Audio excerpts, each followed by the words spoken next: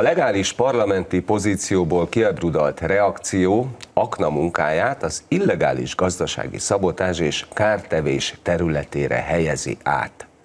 Révai József, a Rákosi éra főideológusa fogalmazta meg ezt a gondolatot, mint egy összegezve az 1945 utáni szabotásperek lényegét, legalábbis amit szerintük jelentettek ezek az ügyek. És hogy mi is volt ez az akna munka, amelyet az úgynevezett szabotőrök követtek el, erről beszélgetek mai vendégeimmel. Köszöntöm a stúdióban Cserényi Zsitnyányi Ildikót, az Állambiztonsági Szolgálatok történeti levéltárának kutatóját. Cinner Tibor történészt, a Kúria nyugalmazott főosztályvezetőjét. Ötvös István történészt, a Pázmány Péter Katolikus Egyetem oktatóját, a Nemzeti Emlékezet Bizottságának tagját. Önök az Ez itt a kérdés csütörtök esti adását látják november 18-án. Jó estét kívánok, én Gulyás István vagyok, és most nézzük, hogy milyen vádakkal illették a korabeli hírekben a legnagyobb olajvállalatot, a Magyar-Amerikai Olaj Részvénytársaságot, más néven a Maortot.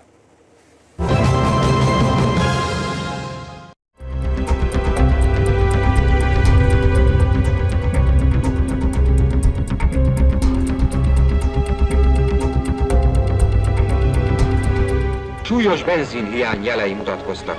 A megindított vizsgálat kimutatta, hogy az ország legnagyobb olajvállalata, az amerikai vezetés alatt álló Maort nem hajtja végre a tervet, csökkenti a termelést.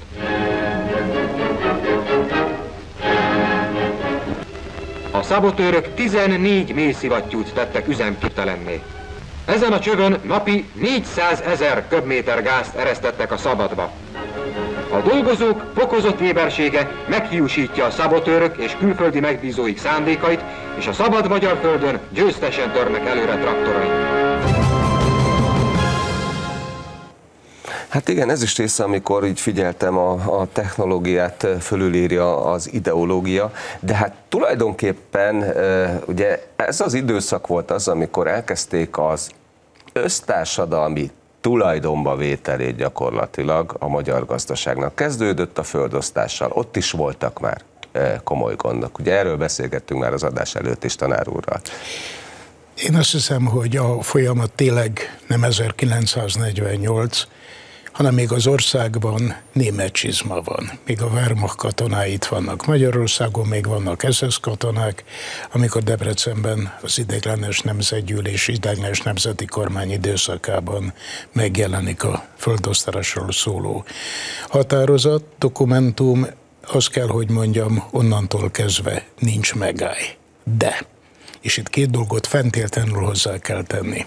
Az egyik az, hogy ez nem magyar sajátosság, ez Nyugat-Európában korábban szinte, vagy később is kezdetét veszi és folytatódik.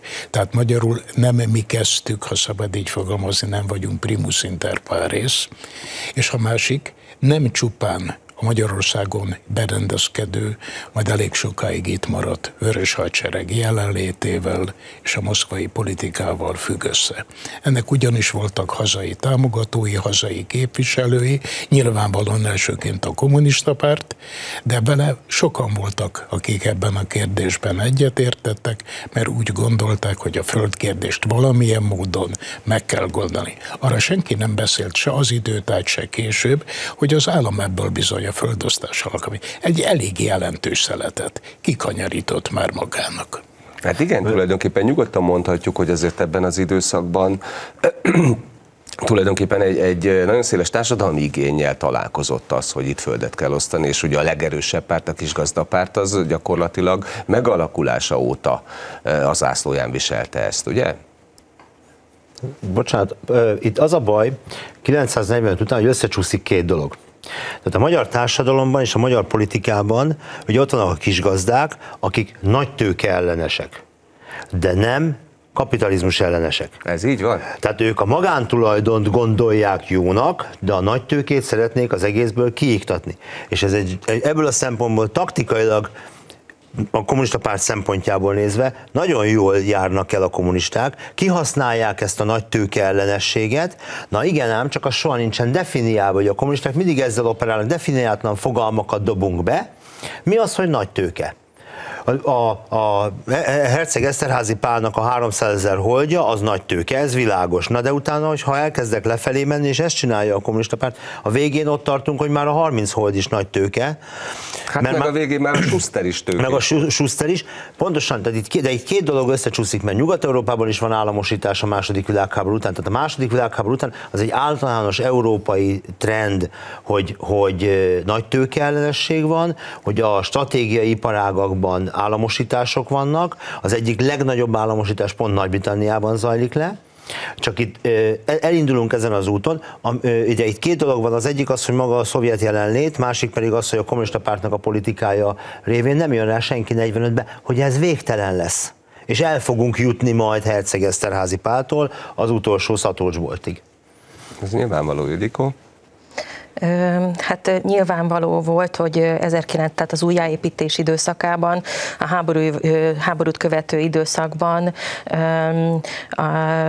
olyan stratégiai ágazatokat próbáltak gyakorlatilag központi irányítás alá vonni, mint ahogy itt az előzetesben láttuk a földgáz és a kőolaj, tehát ez 1947-től, illetve a másik ilyen ágazat az a, az a szénbányászat volt. Tehát ezeket ezeket a, az ágazatokat minél, min, min, minél inkább megpróbálták ugye állami irányítás alá vonni, hát 46-tól ugye államosították a, a szénbányákat is, és gyakorlatilag ennek mentén próbálták ezeket kiterjeszteni.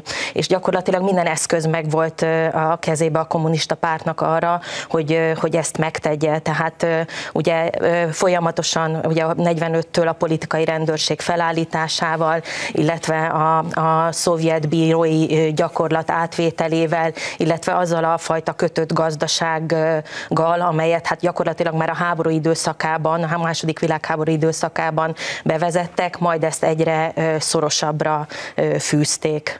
Igen ám, csak ugye pont ez az időszak volt az úgynevezett demokrácia időszaka, amire ugye német László is azt írta, hogy tulajdonképpen erre a rövid időszakra datálja az egész életét, és ezt írják föl az ő ö, ö, sírkövére és mégis azt látjuk, hogy itt gyakorlatilag hiába van többpárti demokrácia, hiába van kisgazda többség a parlamentben, hiába vannak más pártok is rajtuk kívül, gyakorlatilag teljes egészében, ahogy Ildikó is mondta, azok a bizonyos erőszervezetek, vagy erőszak szervezetek, azok teljes egészében a kommunisták kezében vannak. Hát ehhez kapásból csak annyit, hogy ha felkonferált vagy bemutatott filmhez nyúlunk vissza, 45 nyarán már figyelik a Magyar-Amerikai Olajipari Részvénytársaságot, Farkas Mihályt idézem, aki ekkor még nem honvédelmi miniszter. Rá kell feküdni a Maortra. Tehát már a korabeli dokumentumok gyönyörűen mutatják, hogy ami elkezdődik, az valahol véget is fog érni. És ahol véget fog érni, ott a győztes általában Magyar Köztársaságnak vagy Magyar Népköztársaságnak hívják, ami minden esetben a kommunista párt fedőneve. A na, példa... Na igen, de, de, de itt tényleg, amit a 46-os bánya államosítás, tehát abban konszenzus van. Tehát a parasztpártól, a kommunista párti, tehát a kormánypártok, sőt egyébként még a polgári pártok részéről sincs nagy tiltakozás. Ott azzal még nincs gond. A Maortnál, amikor ráfekszenek a Maortra, ugye itt az az igazság, hogy az egy, egyes ügyeknél különböző okok vannak, mert itt azért azt se felejtsük, hogy a Maort az, egy, az 45 tavaszán szovjet ö, katonai kezelésbe kerül. És utána a Nagy Ferenc iratai között meg ott van az a feljegyzés, ami arról szól, hogy hát a szovjet gazdálkodás az 300 millió békepengő kárt okozott a Maortnak. Hát ezt el kell, el kell takarítani. Hát itt, oltár, itt, itt baj van. Hát megviszenek 45 nyar, nyarán az amerikaiak, és akkor azt látják, hogy hát a szovjet hadsereg az kifosztotta a Maortot. Hát, hát ez az egy. És, és ráadásul szövetséges. Igen, igen, igen, igen, igen, és akkor összevonhatják a szemöldögüket, hogy Moszkvától meg lehet kérdezni, hogy gyerekeket, miénket vittétek el, nem a németekét. Na most nem véletlen, hogy 45 őszén, amikor először jönnek létre a magyar-szovjet vállalatok, a közös váltak, rendkívül erőteljes tiltakozás van ezzel szemben. És így jönnek létre a, a bauxit. részéről? Igen. Igen. Hát ugyanis észreveszik azt, hogy itt valami bűzlik Hunniában, és ebből fakadóan gyakorlatilag a történet arról szól, hogy azért létrejön először a bauxitra, létrejön a hajózásra, létrejön a repülőgépre, hogy aztán majd ez foly, így van, tehát a különböző maszó, és utána jönnek a különböző jelzők, vagy rövidítések, és ez az egésznek a lényege. Tehát ők már akkor érzik, hogy itt valami egészen másról lesz szó, de hát nyilván, ahogy nem volt beleszólásuk abba, hogy a 45. január 20-ai fegyverszüneti egyezmény mit tartalmaz, mint ahogy nem tudtak beleszólni mindabba, ami a SZEP fennállása, tehát a Szövetséges Ellenőrző Bizottság alatt fennáll. Ezt maguknak köszönhették, mert hogy Olaszországot 1900 olasz békeszerző fegyverszünetnél kihagyták a játékból az oroszokat, és gyakorlatilag egy angol száz megoldás volt. Hát ennek a reciproka következik be az Elbától keletre. Most az, azon hosszadalmasan lehetne vitatkozni, hogy a, a, hogyha bevonják őket az olasz fegyverszünetbe, akkor mit csinálnak a,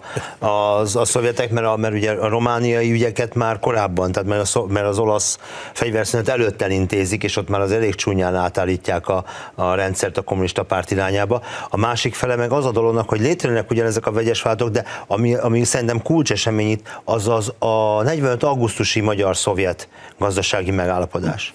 Mert abból viszont cirkusz lesz.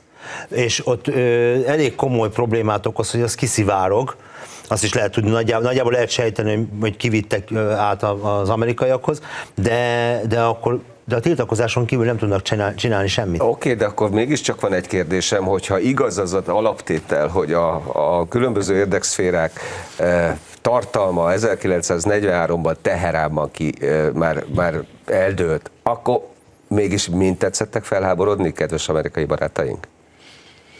Hát igen, a, hát igen, a történetnek ez a lényege, és azt kell, hogy mondjam, hogy miután Teheránban eldölt a kérdés, eldölt a kérdés, hogy nyugat-európai partra szállás és nem balkáni, és így tovább. Ezek a kérdések valójában az egész hosszú távú politikára kihatnak, és ezért is egy félrevezető magyarázat, hogy Jaltától Máltáig, uh-huh. mert valójában Teherántól Maltáig zajlik ez a történet, amíg ugye a Gorbacsov találkozója a Bush, az öreg Bussal le nem zajlik ezen az amerikai hadihajón, és valójában azt lehet mondani, hogy mindaz, ami ebben az időszakban az Elbától keletre történik, ha nem is egy elhatározott és végleges hogy alapján, de érdemi módosulás nem szenved, mert bele kell gondolni, 53 tavaszán Pilsen Prága elbukik, Kelet-Berlin elbukik, Magyarország elbukik, Prága ismét elbukik, a lengyel kísérletek nem vezetnek eredményre, legfeljebb a szovjet megújul megújulási politika jön elő, hogy egyszer mi vonulunk be, egyszer barátokkal vonulunk be, és egyszer csinálunk egy szükségállapotot. Tehát ha végig megyünk, akkor azt is lehet, hogy milyen fejlődés van a rendszeren belül. A lényeg viszont az, hogy hatalma maradnak. Na de István említetted a, a, a magyar-szovjet, meg tanár is említette a magyar-szovjet cégeknek a létrejöttét, hát tulajdonképpen ott ugye hozták a know-how-t. Tehát a, a sztálini know-how-t kellett hozni, tehát azt a fajta metodikát, ahogy ezt annak idején a Szovjetunióban megoldották, legyen az bár a nep ideje, amikor egy kicsit lazult, de előtte azt nagyon durván ledarálták, aztán engedtek egy picit, aztán visszahozták a rendszert. Ugyanez volt Magyarországon is a három és öt éves tervek rendszerével. Hát, Tehát egy az egybe szovjet típusú rendszert veszünk át, Ildikó. Hát igen, tehát itt ez volt a lényeg. Tehát hogy egy... a tanácsadók is? Igen, természetesen. Tehát itt a, a cél az az volt, hogy egy szovjet típusú gazdasági rendszer átvétele, aminek gyakorlatilag nálunk semmilyen feltétele nem volt adott, se természeti kincsekben, sem nyersanyagban, sem munkaerőben, sem szakképzettségben, és olyan irreális követelményeket állított a, a magyar gazdasághoz, hogy tehát egy alapvetően mezőgazdasági jellegű országból egy nehézipari országot kívánt létesíteni. Ugye 47-ben volt az első három éves terv, az 47-ben indult meg, az még viszonylag tartható volt, de a kerekszámok tarthatóak voltak, de, de ezt gyakorlatilag nem technikai fejlesztéssel, nem munkaerő, szakképzett munkaerő kinevelésével hozták létre, hanem, hanem a még meglévő nyersanyagok kibányászásával, alapvetően a szénbányászat hát, tekintetében. Kifosztották gyakorlatilag, kifosztották a, gyakorlatilag a, a bányákat, de ez már előrevetítette azt, az, hogy az 1950-ben meginduló 5 éves terv, ami, ami tényleg a magyar gazdaság egyik legirreálisabb gazdasági terve volt, az teljesen tarthatatlan lesz. És az 1950 végére, 51-re ez a politikai, a kommunista vezetés számára is már nyilvánvalóvá vált. És ugye jöttek a problémák, amire majd, hát, majd látjuk, hogy különböző bűnbakokat próbáltak Na, keresni. ez az, tehát innentől kezdve jön az, hogy, hogy miért volt a, a rendszer szempontjából logikus ezeknek a gazdasági pereknek a végigvitele. Hiszen ezek az emberek, akik megmaradtak az előző rendszerből, szakemberként, tulajdonosként, gazdaságirányítóként valóban szakemberek voltak, és ők tudták a határokat. Na most ezeket a határokat nem lehetett beilleszteni az öt éves, meg a három éves tervek rendszerébe, tehát el kellett őket takarítani az útból, hogy az maradjunk az orosz ö, ö, megfelelően az aparácsikok vagy csinovnyikok, azok végrehajtsák a központi tervutasítást. Jól gondolom? Ez volt a célja ezek, ezeknek a pereknek? Is is. Mert egyrészt ez volt az egyik, a másik a nyugati tőke eltávolítása a kelet-európai piacról, akár a standard, akár a Mahort ügynek az esetében, vagy éppenséggel arról való hivatkozással csinálunk egy pert, hogy milyen információs vagy szabadalmi anyagot adunk el, mint a ferrotechnika ügyben, Igen, a Lőcsös Vilmos és társai esetében, és amúgy az előbbinek még a kiegészítéseként átveszük a pertípust is, az úgynevezett sakti ügyet, tehát lehetne sorolni azt, hogy az epigon szerep az Magyarországon jó táptalajt kap, és valójában talán azt lehet mondani, még egy az előbbinek a kiegészítéseként, hogy ez a bűnbakálító politika nem csupán a gazdaság exférájára vonatkozik. Ez ugyanúgy vonatkozik a húshiány megoldása esetében, a húsért vezetőinek a élet elvételével bezárult perre. Tehát itt csomó olyan dolog, és a tömegperekre, amikor az államhatalmi gazdasági feladatok megoldását a bíróságok oktrolják. Hát nem szabad elfelejteni, hogy 49 és 56 között több mint 700 ezer embert ítélnek el. Ennek a 95 százaléka úgynevezett gazdasági perbe. Most teljesen mindegy, hogy ez beszolgáltatás, fekete vágás, vagy bármilyen címszó, vagy törvényi tényállás alap alapján zajlódik le. De ezekkel az emberekkel próbálták megoldani a problémát. Hát de ez kiválóan alkalmas volt arra is, hogy megfélemlítsék a társadalmat. Alapvetően ez volt a cél, tehát hogy a társadalom teljes területére próbáltak, próbálták kiterjeszteni az ellenőrzést, és valóban megfélemlíteni őket. És visszatérve az előzőre, tehát azok a szakemberek, akiket itt ezekben a perekben elítélték, és most itt nem feltétlenül a tömegperekre gondolok, hanem ezek a, a, a geológusok, mérnökök, hát a, a nagy kirakat perekre. A nagy, hát ezek pont, hogy nem voltak kirakat perek, tehát ez, 1950-től ezek főként zárt tárgyaláson folytak le ezek a perek, és itt nem az volt a cél, hogy, hogy kiiktassák őket, hiszen azt tudjuk a, az iratokból, hogy még a vizsgálati időszakban, de még utána is a, a, akár a gyűjtőfokházban folyamatosan dolgoztatták őket. De, de hát ez megint egy szovjet minta. Hát ezt Stalin kiválóan alkalmazta a repülő, a második világháborúban a, a, a repülőgép igen, mérlek, igen. Hát mérnökök esetében, meg, meg a, a, a, a rakétafejlesztés esetében is alkalmazta ugyanezt a módszert. Tehát kiválóan jött. Tehát akkor mégiscsak igaz az, hogy Rákosi Mátyás, aki először Sztálin legjobb tanít. magyar tanítványa volt, aztán utána elmaradt a magyar jelző, és ő lett Sztálin legjobb tanítványa. Igen, de itt, itt ezeknél a nagy ügyeknél, amit Ildikó mesél, hogy, hogy, hogy nem akart, tehát a szaktudásukra szükség van, de a vállalattól el akarjuk őket távolítani. Egyébként ez a, ezen a, ez a logika igazából a perben szerintem nem annyira fontos, hát már az öt, a, a három éves terv, az öt éves terv tervezési időszakában sem kérdezik meg ezeket az embereket arról, itt ugye volt a bejátszó, hogy akkor a Maortnál nem lehet kitermelni az olajat, ha megkérdezték volna, megmondták volna, hogy mennyi olajat fognak tudni kitermelni. Hát ez teljesen egyértelmű hanem itt, itt van egy másik eleme a dolognak, ez a tulajdonképpen középosztály, felső középosztály networkjét szét kell szedni.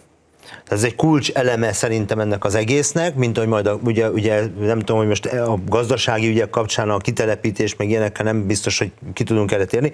De, de annak foglalkoznunk ebben, nem, nem lehet kihagyni. Ki, tehát, tehát hogy kipak, kipakoljuk az embereket, a kitelepítés, a, a, ezek a perek, hogy, hogy becsukjuk a papsimon, de azért dolgozzon nekünk, mert az, a szaktudására szükség van, de ugyanakkor ezzel szétszedjük a középosztálynak a, a, a, a társadalmi szövetét És ugyanúgy a kulákpereknél, amikor, a, amikor kuláknak nyilvánítunk, azért mindig szeretném most is elmondani, hogy a, akinek, aki 1950-ben kuláknak nyilvánítva, az valójában Mária Terézia idején egy egész telkes jobbá. Így van. Így Tehát van. ez nagyon fontos, hogy akkor hova tesszük ezeket a határokat, ki a gazdag és ki a szegény, hogy annak ugyanez, szétszedjük a falusi szociális infrastruktúrát. A net, és ez, ez, egy, ez, ez, a, ez a gazdasági perek révén sokkal jobban elérhető, mert, mert ugye 1950-re már mindenki megtanulja a falun, hogy be kell fogni a számat, még a kocsmában is, és innentől kezdve a politikai per, olyan, még, még kreálhatók persze nyilván politikai ügyek, de sokkal egyszerűbb egy, egy tarló felégés után gazdasági pert produkálni.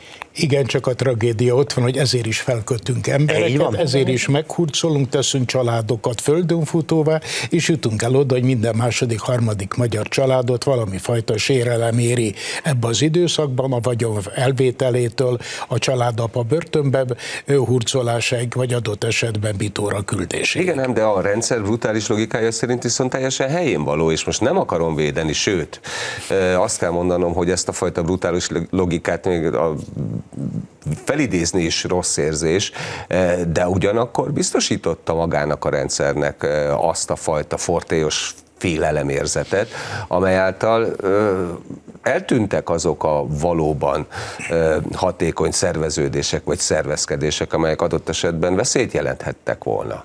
É, És itt a hatékonyon van a hangsúly, mert voltak szervezkedések. Persze. Nyilvánvaló minden rendszerben voltak kémek, mint hogy minden rendszerben vannak szervezkedők, izgatók, tehát ezzel semmi probléma nincs. Csak a kérdés az, hogy hány és hány emberre kenték valótlanul ezt rá, hány és hány emberből kényszerítették ki hamis vallomásokkal, és hány és hány ember lett a következmény annak, hogy öt ért a fekete autó, és mehetett utána fekete szenet bányászni.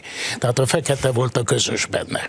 Igen, és hát engedjenek meg egy, egy egészen személyes dolgot, tehát Nemrégiben láttam egy, egy magyar filmet, amely tulajdonképpen azt hiszem, hogy a túsza címe, vagy a túszok, hogy tulajdonképpen elnéznek egy nevet az AVH-sok, és túszul ejtenek egy családot, és mindenki, aki bemegy oda, azok túszok lesznek, míg aztán ki nem derül, hogy nem gaálékat kellett volna keresni, nem gálékat, és aztán mindenkitnek megmagyarázzák, hogy mostantól kezdve kussolás van, de van benne egy nagyon fontos momentum, hogy az egyik bírósági vezető, aki bennül a WC-n, és világéletében vigyázott a, a monogramos zsebkendőjére, ez amikor elfogy a papír, és beadnak neki két darab újságpapírt, amin az egyiken Rákosi, a másikon Stálin képe van, akkor előveszi ezt a bizonyos monogramos zsebkendőt és felhasználja. Tehát ennyire, tehát ez egy szimbólum, de ennyire mélyen beleívódott az emberekbe a félelem.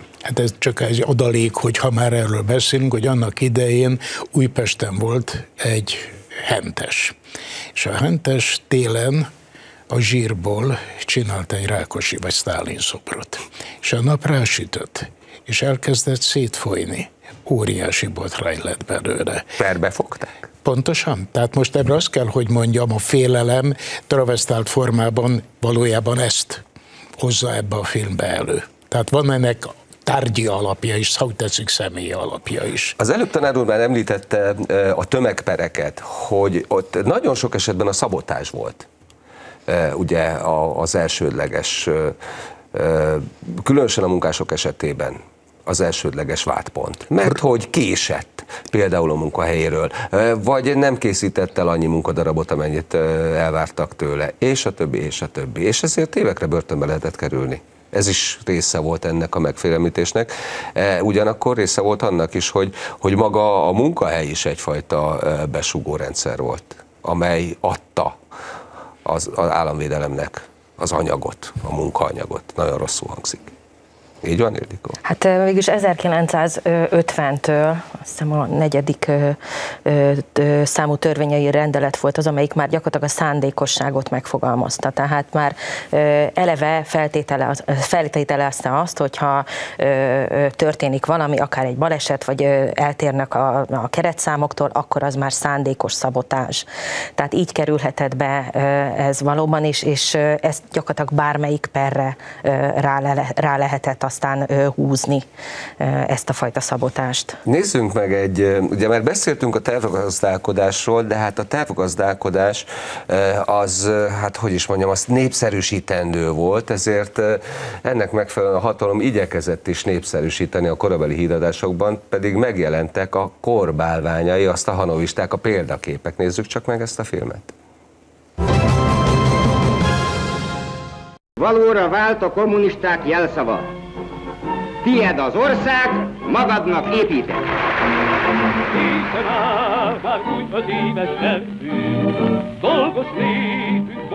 Az öt éves népgazdasági tervnek a következő feladatokat kell megvalósítania. Magyarország iparosításának meggyorsítását, elsősorban a nehéz és gépipar fejlesztését. Mezőgazdaságunk elmaradottságának felszámolását, hozamának jelentős emelését. Népünk életszínvonalának további emelését. Honvédelmünk, véderünk kifejlesztését. A termelékenység növelését és az önköltség csökkentését, az új beruházások, a termelőberendezések műszaki fejlesztése, szabványosítás, észszerűsítés, az újító mozgalom, a munkaversenyek, az élmunkás és Stahanov mozgalom és a teljesítménybérrendszer további fejlesztése, stb. útján kell elérni. Pióker Ignác, az Egyesült Izzó Kossuth Díjas Stahanovistája november 30-án elsőnek az országban befejezte öt éves tervét. Ma már második öt éves tervén dolgozik. Milyen furcsa hallani, hogy Kossuth díjas, Stahanovista. Hát ők voltak a kor kommunista celebjei, de Ildikó akkor áldozatait kutatta. Tehát az ő sorsuk hogyan viszonyult a Pióker Ignác féle emberek sorsához? Mármint a szakemberekre gondolunk? Hát ott ugye az, azt már... Hát, bocsánat, csak megint, ne haragudj, hogy félbeszakítom, de például a Márvány emberben, ugye zseniális film, abban van, hogy a Stahanovista kőműves kezébe nyolcan adják azt a bizonyos téglát, meg húzzák előtte a maltert, és ő azért tud 600%-ot teljesíteni, mert csak oda kell rakni a téglát, a következő ember már helyre is üti. Ő csak leteszi. De hát igazán ez a propaganda része volt. Persze. Tehát közben nagyon jól tudjuk a háttérben, hogy, hogy borzalmas körülmények között dolgoztak ezek az emberek. Tehát abszolút nem voltak sem agyangilag, semmilyen szempontból megbecsülve. És hát nyilván ez a fajta erőltetett ütemű gazdaság, ez a fajta erőltetett ütemű termelés, ez, ez nyilván rányomta a bélyegét, és egyre több baleset, szerencsétlenség volt, amiről azért a, a híradások nyilván nem szóltak.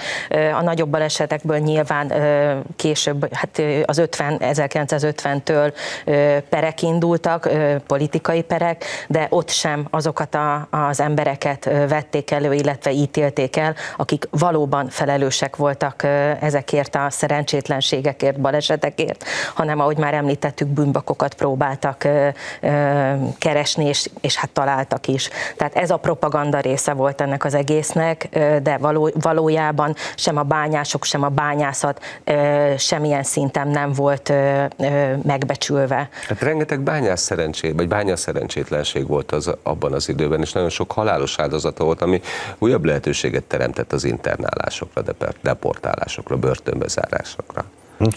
Most jó, hogy mondod az internálást, mert itt az egésznek az a lényege, hogy az öt éves tervben már, már a, a kényszermunka az bele van tervezve az öt éves terv. Nem véletlenül mondtam, igen. Tehát, Tehát gyakorlatilag én, tehát, hogy ott már elkezdjük gazdasági azt, tényezővé válik. Végre kell hajtani az öt éves tervet, és ha Tiszalökön vízművet akarunk építeni, akkor leinternáljuk az embereket, hogyha le akarjuk csapolni a hanságot, akkor internáljuk az embereket. Ha Kazincbarcikán építeni akarunk valamit, akkor internálunk. Tehát, hogy gyakorlatilag a, a rabmunkáltatást, Ugye, és hogy hát nincs elég rab, akkor majd csinálunk. E, tulajdonképpen egy idő után már ez úgy működik, hogy, hogy, hogy eleve olyan szakmunkásokat internálnak, akikre az építkezésen szükség van.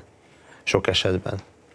És az alapján választjuk ki. Tehát ebből a szempontból is követik a, a, a szovjet modellt e, folyamatosan a korszakban, és itt tulajdonképpen ez az, ahol, ahol végletekig kizsigerelik a, az embert, a bányát, a földet, a gépet, és amikor az egész viszont visszájára fordul, akkor a rendszer belső logikája mentén haladva csak pert lehet csinálni csak bűnbakot lehet keresni, és akkor találunk egy, mit tudom én, hortista tábornok özvegyét a üzemben, mert biztos ő volt, és akkor abban a pillanatban már jöhet a politikai megtorló gépezet. Egyszerűen az a, a rendszernek a belső logikája az így van fölépítve, csak ezt képesek, mert különben szembe kéne nézni a tévedéssel. A kommunista jogrendben kodifikálták a kényszermunkát? Gyakorlatilag törvényi alapon soha nem kodifikálták. Na ez a kérdés. Viszont használták de használták, mert volt egy örökség, amit átvettek 1919-től, két rendeletet, majd még utána ez is hozzátettek a Horti korszakban, a rendszer idején ezekhez a dolgokhoz, utána jön a 39-150-es szakasza a honvédelmi törvénynek, és egy az egybe ezt 1945 után átvesszük, ez 53-ig funkcionál, akkor száborokat megszüntetik, utána eufemisztikus módon közbiztonsági őrizetre változik, változtatjuk a nevét, és folytatjuk ugyanezt Tökölönt, Kistarcsán egészen 1960-ig.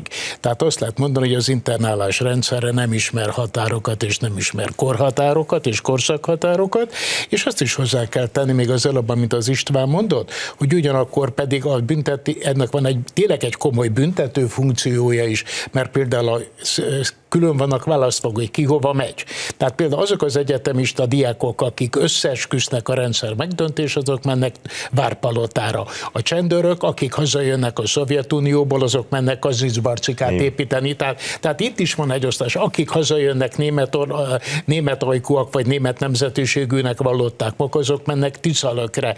Tehát van egy felosztás is, hogy hova, hogyan ki hova kerül, de a kulcs dolog az volt, hogy tulajdonképpen olyan emberekkel emberekkel kell dolgoztatni, mindegy, hogy mennyit tud csinálni, de csinálja a munkát, mert bele kell ezt az egész rendszerbe építeni. És pontosan ezekor létrehozzák a közérdekű munkák igazgatóságát, a kömit, akkor gyakorlatilag már nem az igazságügy, hanem az államvédelmi hatóság alá tartozik a rendszer, hisz 50-től folyamatosan lesaltolja a különböző büntetés végrehajtási intézeteket, és ő felügyeli valójában az internálás rendszerét. A beviteltől a kivitelig a szabadlábra helyezéstől a szabadlábra nem helyezésig. Akkor jól értem, hogy gyakorlatilag gazdaság irányító tényezővé válik ezáltal az államvédelem, az államvédelmi hatóság? Abszolút erről van szó. Igen. Igen. Ildikó.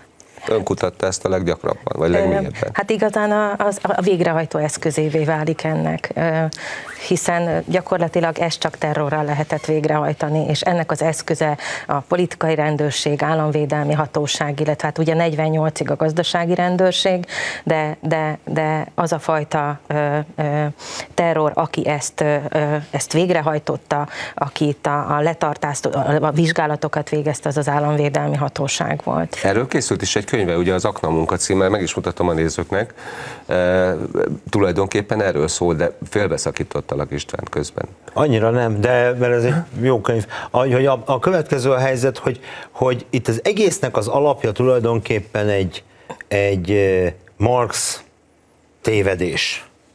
Tehát abban a pillanatban, Mire amikor, talált valamit? A, amikor Marx, a Marx azt mondja valamikor nagyon régen, hogy a szegénységnek politikai oka van. Valójában itt kezdődik ám a probléma, mert a politikai oka van a szegénységnek, akkor politikával lehet felszámolni.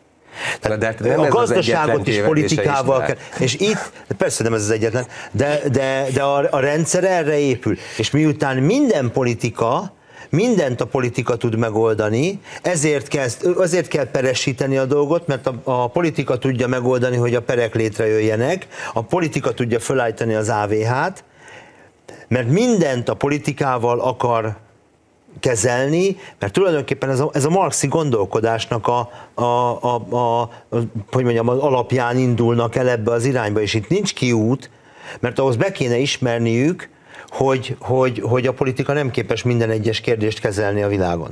Hát erre egy példa csak, és ez már ugrás a történetben, visszamegyünk 57 utánra, amikor Kádár egyszer azt mondja, hogy el kell érni, hogy még egyszer az ne legyen, hogy mindenért a párt a felelős. Tehát titokban csinálunk mindent. Igen. Tehát nem nyilvánosan. Igen. Na jó, hát erre, erre egyetlen egy példa, hogy mennyire volt, de ugye gyakorlatilag azt mondják, és ez személyes tapasztalat, azt mondják, hogy az 50-es évek után minimális volt a beszolgáltatás, vagy már egyáltalán nem volt, tehát a padlás lesöprés és egyéb megszűnt. Nos, én Karádon találtam a régi malomnak a padlásán 1963-ból származó beszolgáltatási jegyzőkönyveket, ahol pontosan leírva, hogy a karádi porták közül kinek hány tojást, tyúkot, lisztet, hány kiló lisztet, stb. kellett beszolgáltatnia 1963-ban, amikor már nem volt beszolgáltatás még mindig, mind, még mindig működött. De azért oh, ne, ne ugorjunk ennyire vissza 10 évvel, 53, mert ott az egy nagyon fontos fordulópont.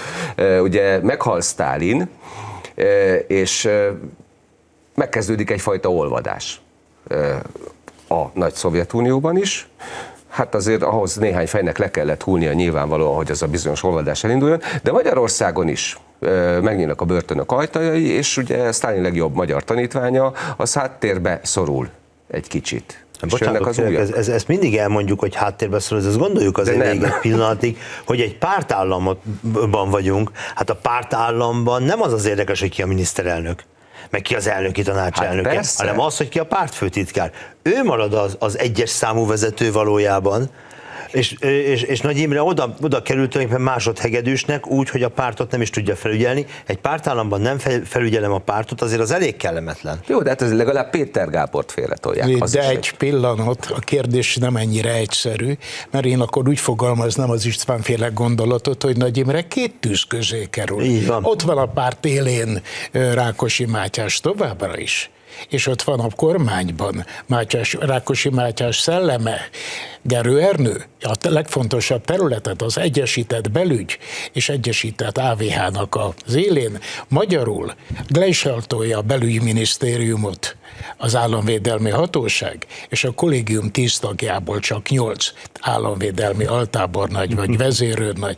Kit hova rendeltünk alá, minek rendeltünk alá? Hát az új szakasz tragédiája pontosan ez lesz, hogy gyakorlatilag Gerő háttérből, és sokszor nem is háttérből meghatározza mindazt, ami ebben a rendkívül szűk időszakban torz, de mindenképpen a korábbiakhoz képest egyfajta lazulást, némiképp enyhülést hozó korszakra hát, csak ő volt a nagy hídverő, ilyen gerő a hídverő, ugye? Hát azért mégis csak egyfajta hidat képezett az enyhülés felé.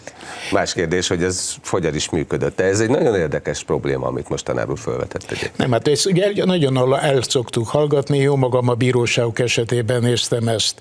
Végig a Gerő szürke eminenciás szerepe az első perctől kezdve odáig, hogy reggel fél hétkor ben volt a munkahelyen. A titkárától tudom, akinek a lányával egy házban laktam, tehát első kézből. Gyakorlatilag reggel fél hétkor ő maga odaült az írógéphez, amikor kellett öt oldalt, kellett hat oldalt, és Rákosinak megírta a napi penzumot egyes sor közel. Ma fogadni kell a nőtanásnak a delegációját, el kell menni ezekhez az úttörőkhöz. Rákosi, ha úgy tetszik, báb volt ebben a mérkőzésben, mindenért gelő, ha szabad ezt a csúnya fogalmat használni, vitte a balhét, ő alakította ki mindazt, amit a propaganda oldalán a tized néhány évet börtönben hát, töltött Rákosi elé kellett állalni. Na de akkor mégiscsak valamilyen szinten visszaszorult Rákosi. Új vezér van?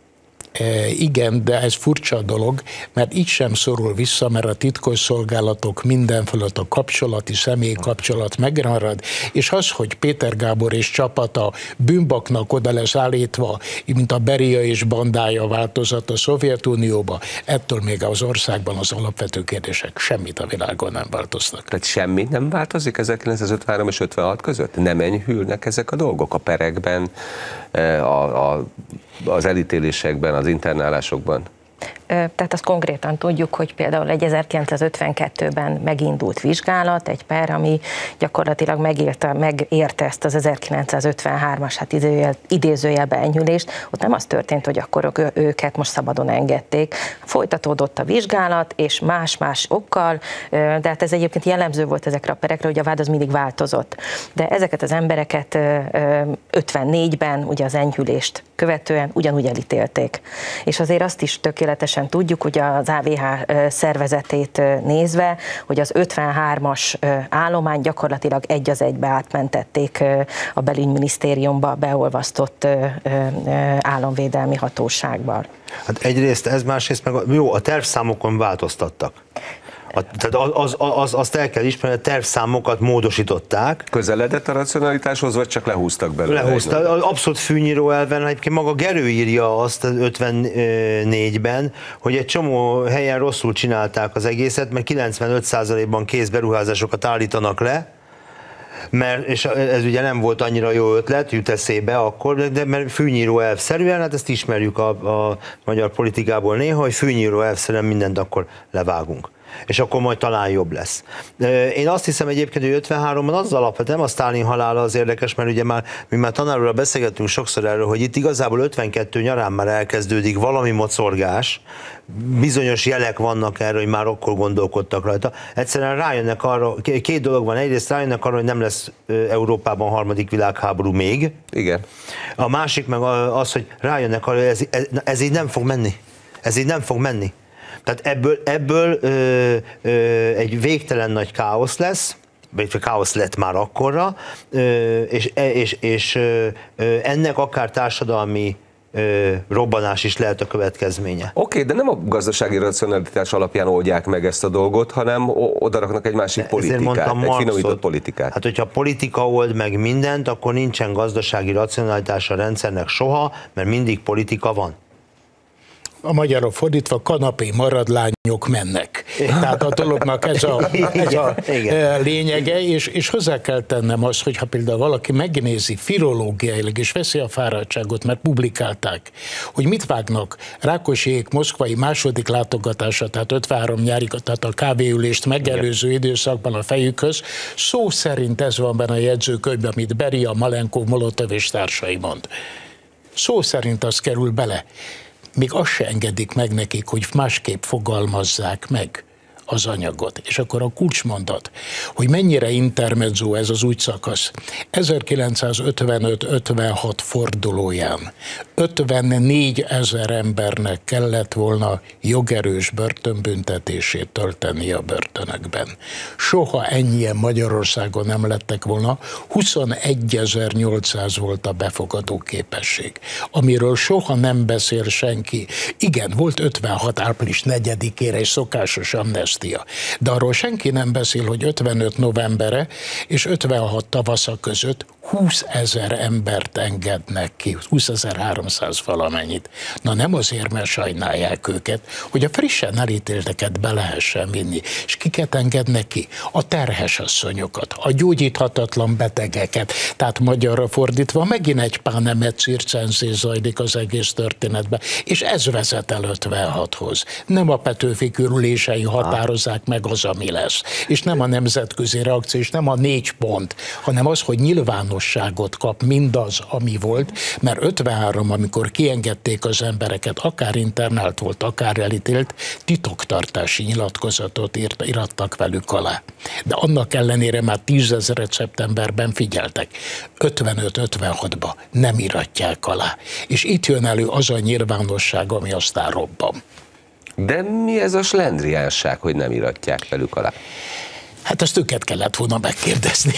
Mert ez, ha ez valóban így van, akkor mégiscsak kijön a rendszernek a slendriánsága. Tehát a, a, már pedig a slendriánság mögött valamiféle ö, politikai és egzisztenciális bizonytalanság áll ebben az egész rendszerben. Nem tudom. Csak azért, mert amit most a professzor úr elmondott, ez gyakorlatilag teljesen más megvilágításba helyez nagyon sok dolgot ö, abból az időszakból és ugye 56 gyökerei kapcsán is azért Abszolút. eléggé új elemeket vet föl. Pontosan nekem, ez őszinte meggyőződésem, iratanyag ismeret alapján, hogy ennek a több mint 20 ezer embernek a szabadlábra kerülése, csak úgy számoljunk hozzá, hogy mindegyiknek van két gyereke, egy felesége. Ez 80 ezer ember. Ez egy nagyvárosi lakosságnak a mennyisége. És ha ebből csak én a szomszéd, két szomszédnak mondom be, hogy ártatlanul ben voltam. Ez terjed.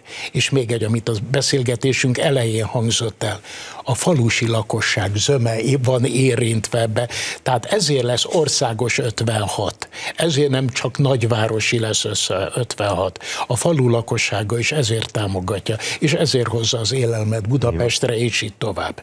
Így van, tehát teljesen más a képlet ebből a szempontból, de egyébként hadd tegyem hozzá, hogy, hogy itt nem csak a Rákosi korszakkal kell foglalkozni, mert utána Kádár, majd a 70-es években saját maga mondja el az egyik politikai bizottságülésen, hát akkor 56 után megtöltöttük a börtönöket, akkor adtunk egy amnestiát, akkor megint megtöltöttük a megint adtunk egy amnestiát, megint megtöltöttük a börtönöket, tehát hogy gyakorlatilag folyamatosan töltögetik meg a börtönöket, és időnként ugyan vannak ilyen amnestiák, de utána megint visszatérünk oda, hogy akkor elkezdjük le ültetni az embereket, csak legfőjebb akkor, hogy mondjam, utólag nehezebb a, a kampánynak a kampány jellegét tetten érni, mert nincs, nincs egy ilyen, nincsenek olyan kulcsperek, olyan, olyan ö, társadalmilag is ismert, közismert perek, amelyekhez hozzákössük ezeket, mint mondjuk ugye az 50-es évek elején, ugye ott a koncepciós perek időszakában ott vannak azok a nagy, ismert, ö, százszor ilyen emlegetett perek, és azokhoz hozzá tudjuk ezt kötni.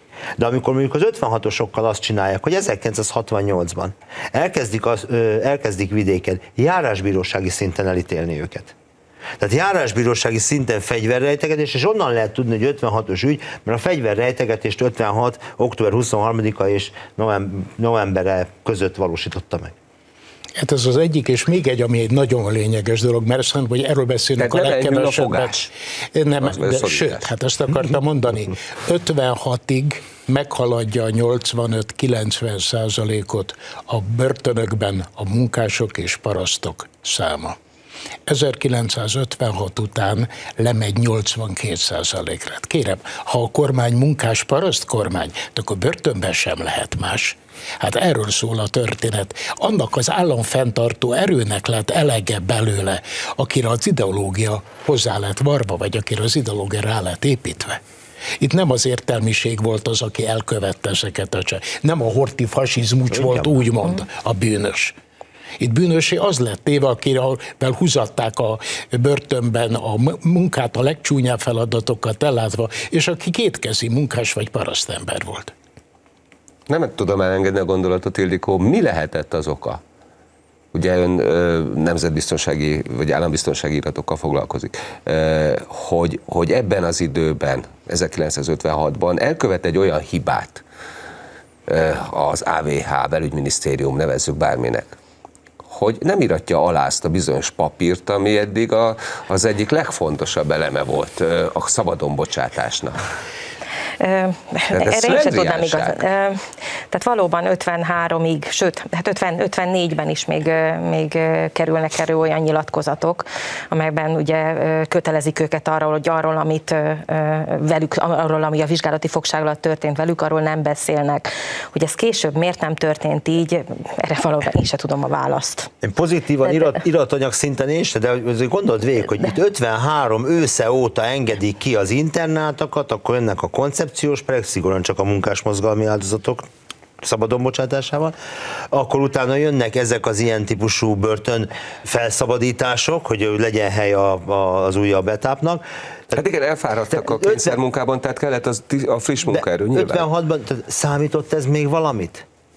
Hát itt tulajdonképpen szabadlábra kerül. Biztos, hogy számított. De, de itt 53 óta szabadlábra került 200 ezer ember. 150 ezer ember legalább. Az biztos, folyamatosan. Foly, tehát folyamatosan. Hát Már... 56 maga csak 40 ezer ember érint különböző módon, és amiről nem szoktunk ugyancsak beszélni.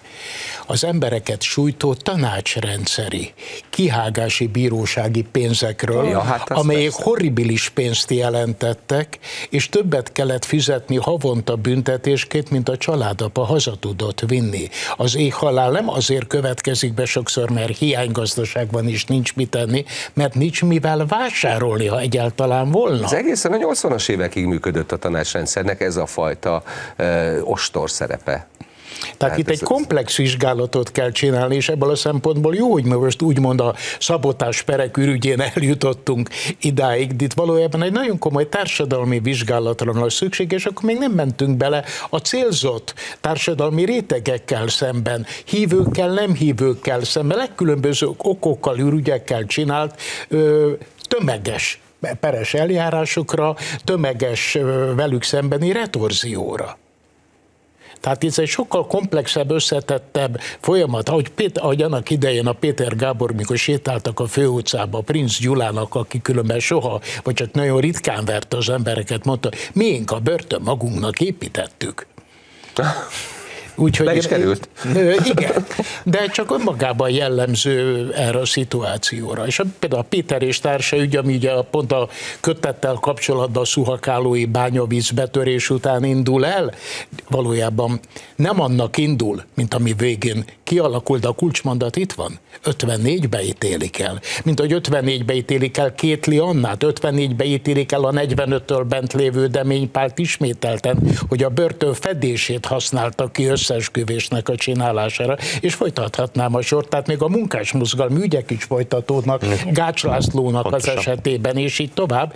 Tehát szó nincs itt arról, hogy 53 e tekintetben egy vaskos cezúrát jelent. Oké, okay, de ez akkor azt jelenti, hogy a társadalom szövete azért ekkor még ellenáll.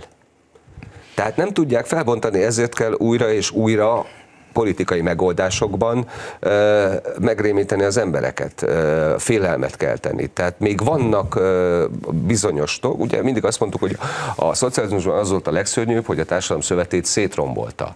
De ez a szétrombolás nagyon hosszú időn keresztül kellett, hogy működjön, és az 50-es években ezek szerint a legnagyobb terror idején, a legdurvább atrocitások idején is megvolt még egy egészséges szövetrendszer a társadalomban. Igen, de abban a pillanatban, amikor a Rózsadomból a, nép, a szabad nép felirata lesz, hogy világ proletáriai egyesüljetek, amikor egy létszámcserét nem csak úgy hajtanak végre, hogy falura, a juhakolóba és különböző helyre száműzik a hozzátartozókat, mert a férjek ez esetek zömében börtönből irányítják, mondjuk, mint Pap Simon a magyarolai part, hanem arról szól a történet, hogy a családokat is megfosztják mindenüktől. Ennyi volt az időnk. Én nagyon szépen köszönöm, igazán izgalmas volt ez a beszélgetés. Köszönöm, hogy eljöttek, köszönöm, hogy itt voltak. Önök az Ez itt a kérdés látták, műsorunkat visszanézhetik a mediaclick.hu és a Youtube-on. A nyár elején elfogadott gyermekvédelmi törvény azóta is folyamatosan tematizálja a közbeszédet. A holnapi adásban a gyermekek jogainak világnapjához kapcsolódóan erről is beszélgetünk majd. Munkatársaim nevében köszönöm a mai megtisztelő figyelmüket, viszontlátásra!